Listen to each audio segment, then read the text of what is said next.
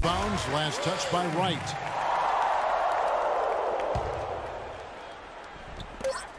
Deft touch on the alley-oop.